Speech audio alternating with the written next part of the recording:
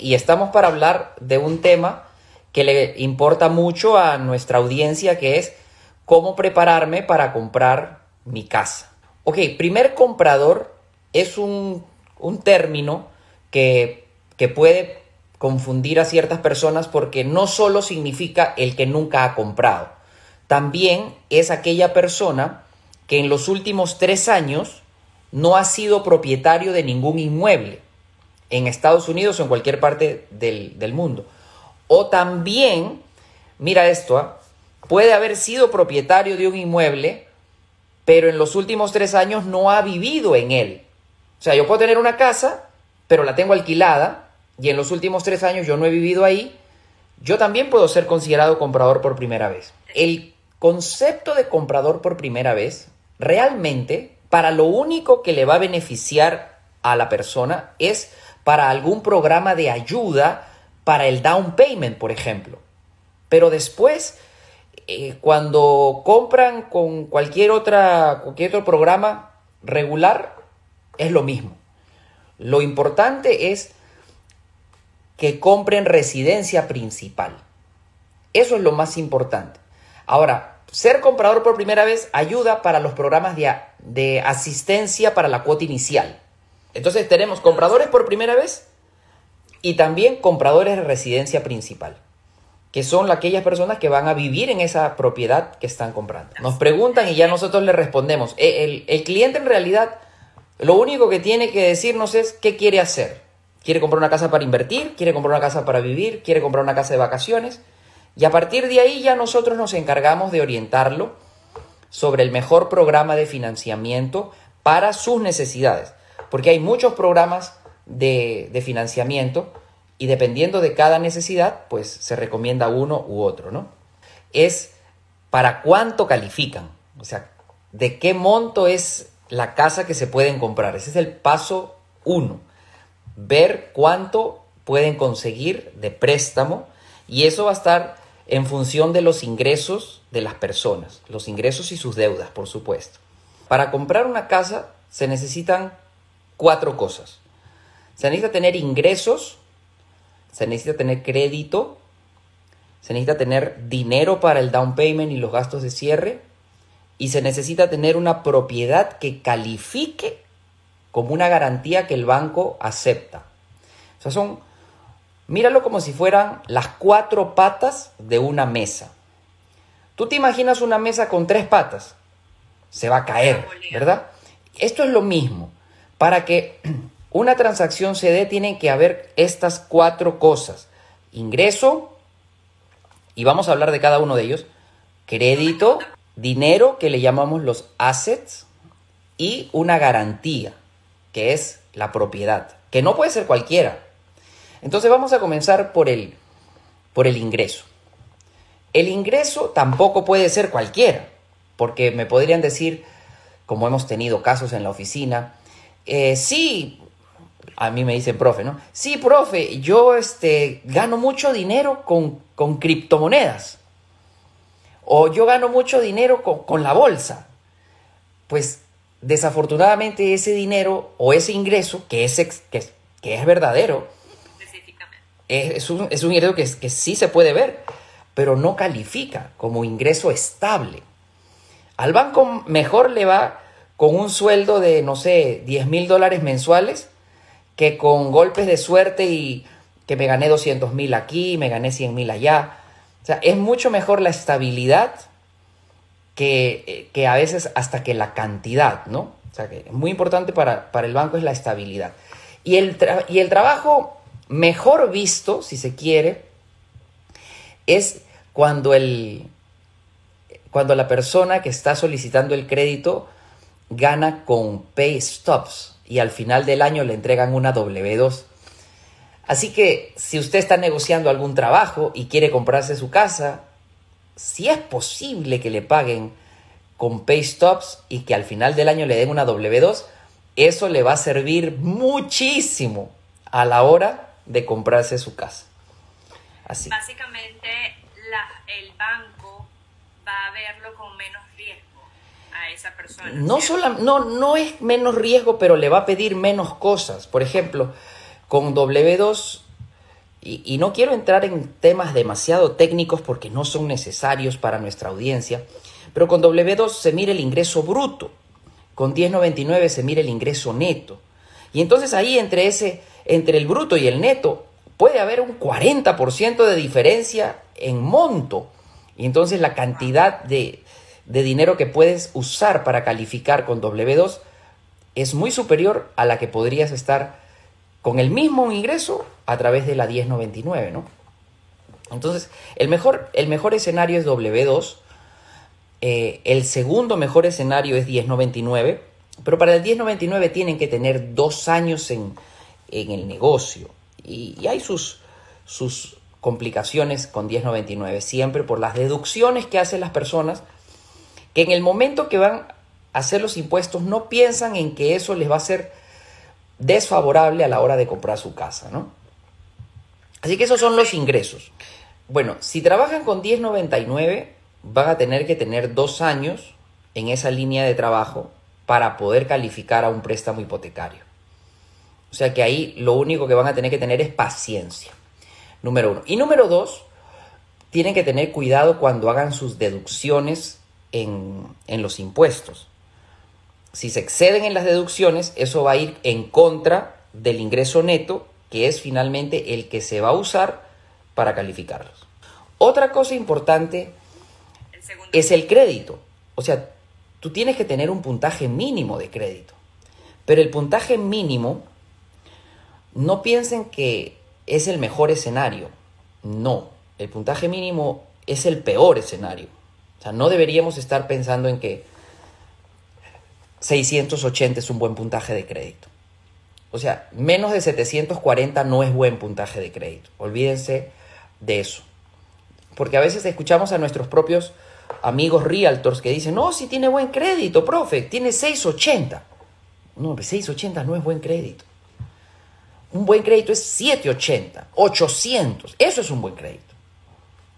Y de verdad, tenemos que trabajar todos en que ese número sea lo más alto posible, hay que cuidar ese número y hay que em, monitorear ese número.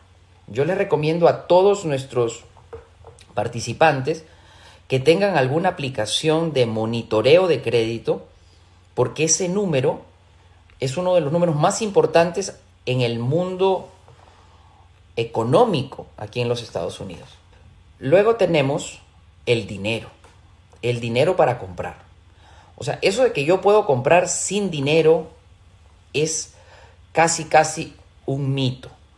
Es posible con algunos programas de Down Payment Assistance, pero yo digo que la excepción no puede ser la regla. Entonces tenemos que decir que en líneas generales, la persona que se quiere comprar una casa tiene que tener dinero. ¿Cuánto tiene que tener? Pues depende. ¿Quiere comprarse una casa o quiere comprarse un apartamento? Porque si quiere comprarse una casa o un townhouse que no sea condominio, y esto no lo van a entender, pero ya después lo van a entender. Si quieren comprarse una casa o un townhouse que no sea condominio, lo mínimo que necesitan es el 8% del valor de la propiedad. Vamos a suponer que la propiedad cueste 600 mil dólares. Bueno, lo mínimo que necesitas es 48 mil. Pero si te vas a comprar un apartamento, ahí sí ya la cuenta no se puede hacer tan rápido y tan fácil. Porque dependiendo de, de la asociación donde esté ubicado ese apartamento, el down payment podría ser 5, 10, 20 o hasta 25%. Y eso no lo vamos a saber hasta que no tengamos la propiedad escogida. Claro, claro. Tenemos que, primero que nada, ver qué tipo de propiedad es la que vamos a comprar para poder saber cuánto es el down payment y los gastos de cierre. Porque eh, el 8% sale así, un 3,5% de down payment y un 4% de gastos de cierre. Más menos, ¿no? Siempre un poquito más, prefiero que me sobre a que me falte. En general sí, sí, se necesita menos down payment. Eh, para, para los apartamentos no se sabe, hasta que no encontremos la propiedad no vamos a saber bien. Si yo te apruebo para comprar una casa unifamiliar, tú no me puedes traer un contrato que diga que vas a comprar un apartamento porque no va a caminar. Tiene que ser el mismo tipo de propiedad para el que ha sido preaprobado.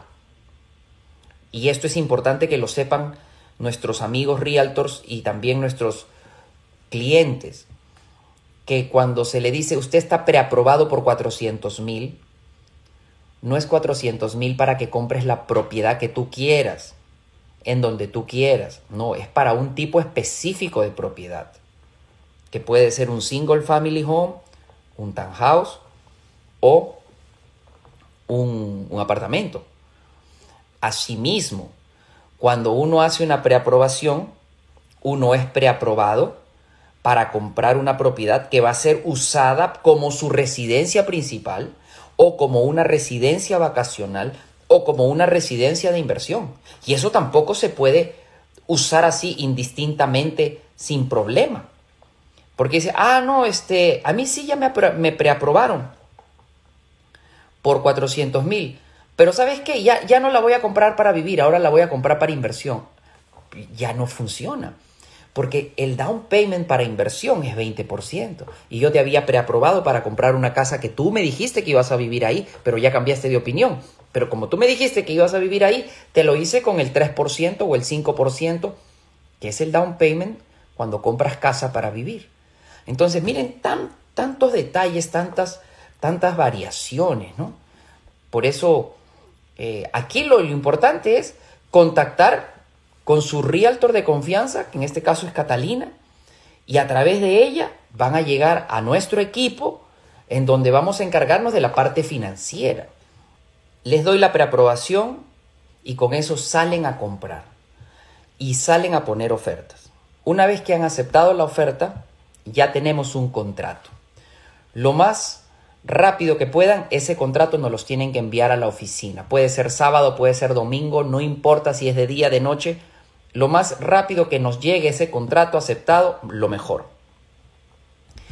El proceso comienza con la firma de los disclosures.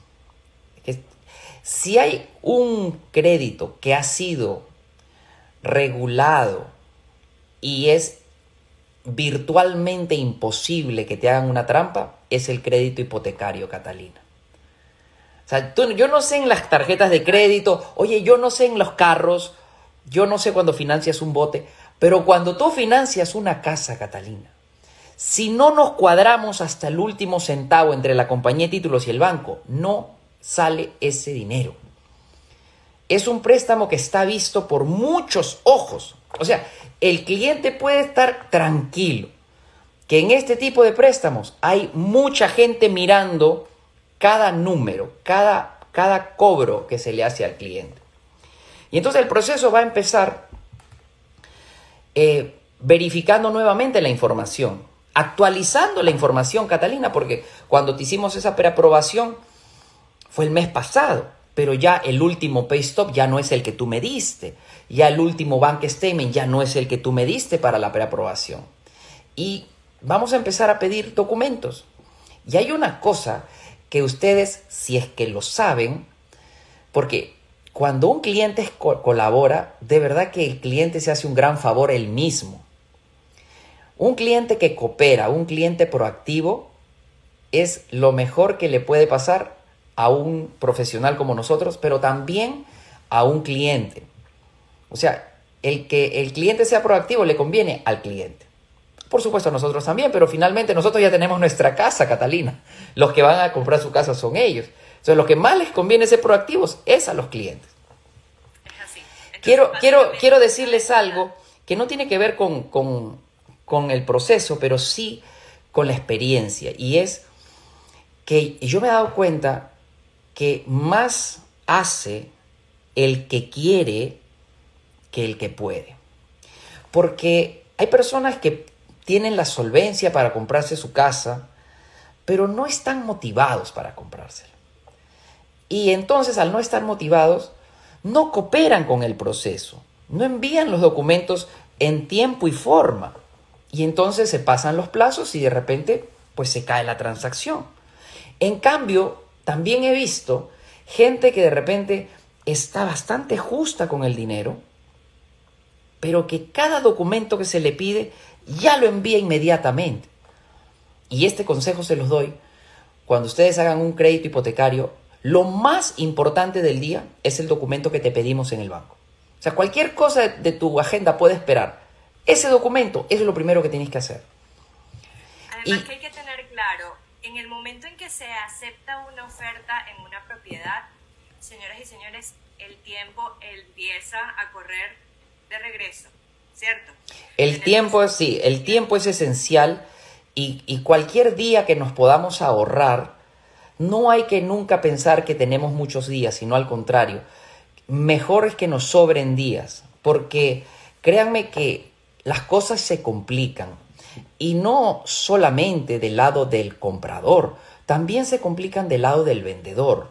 Pero los términos se expiran, los logs se, vencen, entonces tenemos que trabajar, y así lo hacemos en mi equipo, como si no tuviéramos mucho tiempo, sin perder ni un solo día, ni una sola mañana. Es, eh, ese, es el, mejor consejo, ¿no? Y también decirles que eh, un préstamo puede ir todo, todo, todo, todo bien, y por un error se puede caer. Por ejemplo, la persona compra un carro y entonces tiene ahora una deuda que no tenía cuando se le hizo la preaprobación y ya no califica para ese monto. Parecen cosas que no van a pasar, parecen cosas que, obvio, ¿cómo van a hacer eso? No, pero sí se hace. O sea, esas historias de terror sí, sí existen. O sacan una tarjeta, algo tan inocente como, mira, estaba en el avión, dieron esta promoción de la tarjeta, que las, que las millas y qué sé yo, no lo pensé, no me acordé, pa, pidió una tarjeta extra, le bajó el puntaje. El cliente le bajó el puntaje y ahora ya no califica. Y otra cosa también, depósitos en efectivo. No se pueden hacer. Eso de tengo un cheque, lo fui, lo cobré en Amscot y de ahí fui a, depositarlo al DIN. No, lo que queremos ver nosotros los bancos es justamente que era del cheque, ese dinero del cheque es el dinero que está en tu cuenta. No hagan cosas extra. Si tienen alguna duda de cómo manejar un depósito de algún dinero que han recibido, tienen que contactarnos antes de hacer cualquier movimiento. No asuman, no supongan. Pero una cosa sí es clara, el efectivo es, veneno. Dinero en cash es veneno y el efectivo no se puede rastrear y va, va por ese lado. Pero tampoco puede ser en efectivo, pues el regalo no me lo puede dar, mi tío no me puede haber traído a mi casa un sobre con 10 mil dólares, así tampoco funciona. El, el, dinero de regalo también va a tener que ser rastreado. Lo, cualquier cosa que esté para el futuro es una... ¿Cómo se diría? O sea, nadie sabe. Porque yo te puedo preaprobar hoy, pero te estoy preaprobando con el interés de hoy. Cuando esa casa esté terminada de aquí a seis meses, no sabemos cuánto va a ser el interés.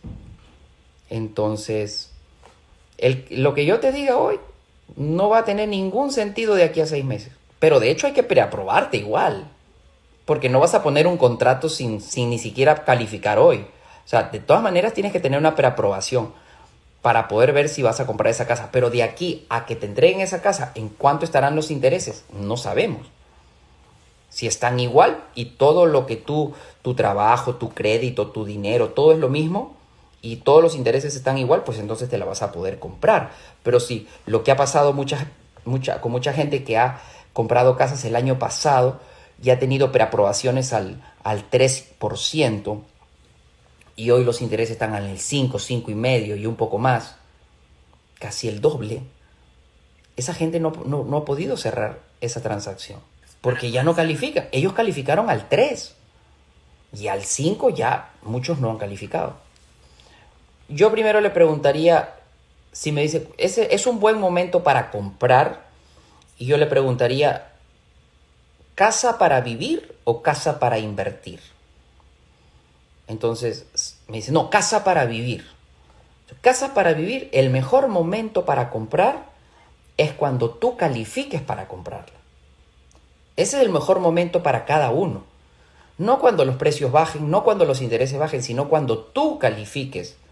O sea, que tú tengas el ingreso suficiente y, que valga, que tú tengas el puntaje de crédito suficiente, que tú tengas el dinero suficiente para comprarla. Ahí es el mejor momento para comprar tu casa para vivir. Ahora, para comprar una casa para invertir, para invertir, ahí hay que sacar los números. Si bien es cierto, los intereses han subido, también las rentas han subido y en mayor proporción, Catalina. Entonces, a la hora de, de sacar la cuenta, a los inversionistas puede que les convenga, igual o más que antes, comprar propiedades en Florida para invertir. Pero, pero para invertir hay que sacar los números y cualquier momento puede ser bueno y también puede ser malo. Pero para vivir, para vivir es cuando uno se lo puede comprar. Entonces repito, para la gente que nos está viendo por Instagram, si me preguntan, ¿cuál es el mejor momento para comprar una casa para vivir? El mejor momento para comprar una casa para vivir es cuando la persona que quiere comprarla puede comprarla, que califica con el ingreso, el crédito, el dinero y la propiedad. Y para invertir, para invertir hay que sacar los números. Básicamente, ¿cuánto es lo que genera de renta?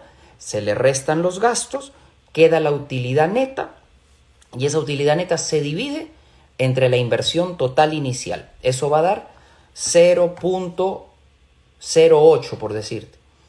Eso quiere decir que está rindiendo el 8% anual sobre tu inversión. Si te sale esa división... Sí, pero nada pero nada, nada difícil de obtener cuando hacemos un financiamiento. Es algo muy, pero muy factible, 8, 10, 12, 14, cuando se financia. Lo que pasa es que la gente no sabe cómo es que beneficia el, financiar el rendimiento de la inversión. O sea, parece, contra, parece contradictorio que tú pagándole al banco ganes más por tu inversión, pero es así. Es así porque básicamente porque tú pones menos, claro. Y es el rendimiento contra tu inversión, no contra lo que vale la casa. Porque tú no has pagado lo que vale, tú no has puesto lo que vale la casa. Tú has puesto un pedacito de lo que vale la casa. Entonces lo que ganas contra ese pedacito, proporcionalmente, es mayor que si lo hubieras puesto todo al contado, ¿no? Muy bien. Finales, preguntas finales aquí.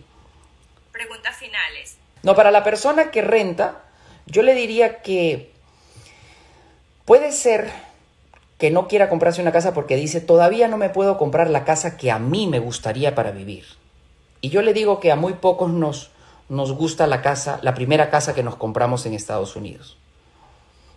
lo primero que tiene que hacer uno para entrar en este sistema realmente, como saben, es tener, tener un crédito, pero otra cosa es comprar una propiedad lo antes posible. Porque el sistema está diseñado para beneficiar a las personas que son propietarios.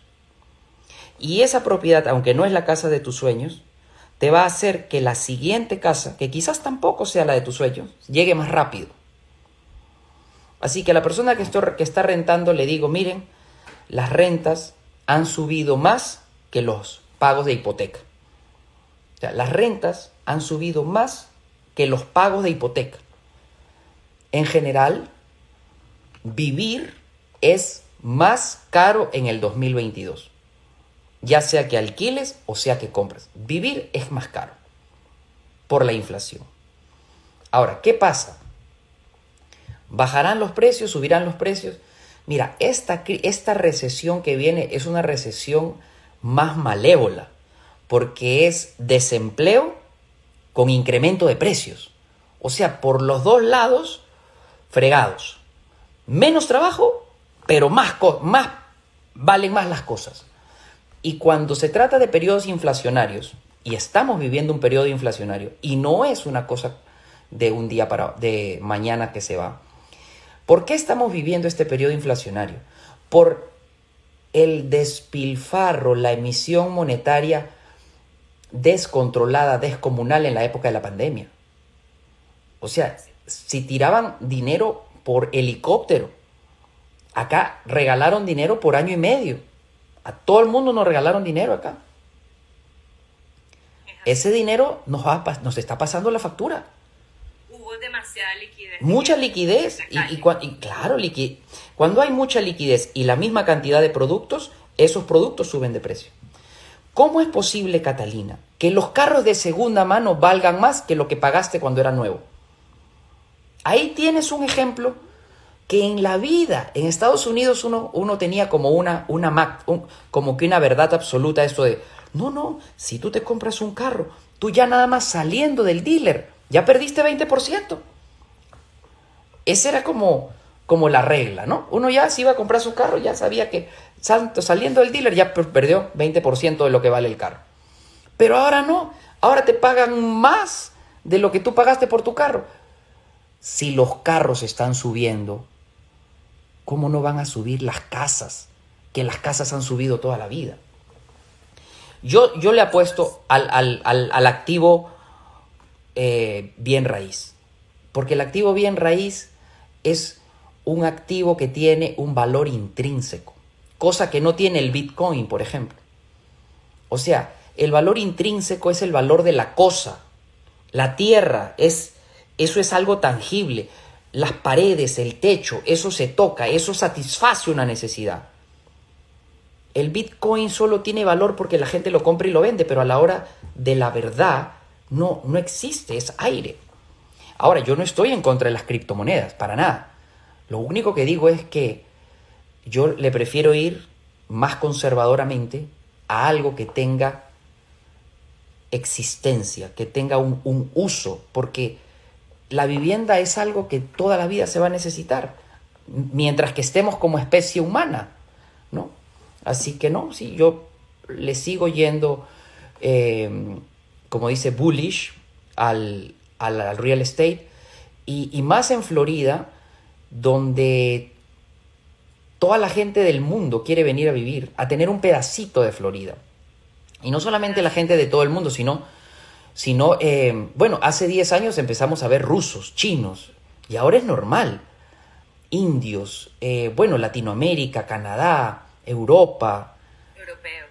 O sea, de todas partes, México, Colombia, y, los, y la inestabilidad política y económica que se, que se vive en nuestros países, pues es, es gasolina para este fuego que, que, que, se trata del mercado de bienes raíces. Ayer, no, hoy vi una noticia que dice el presidente del banco Citadel, que es un banco de Chicago que ha venido a instalarse en, en, Miami, que ha alquilado todo un edificio en Brickell. Bueno, el señor también se compró su casa en Pinecrest. ¿Sabes cuánto pagó?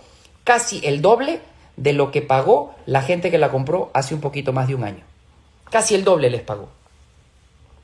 Entonces estamos viendo que grandes capitales se están mudando al sur de Florida, no veo por dónde puedas bajar los precios.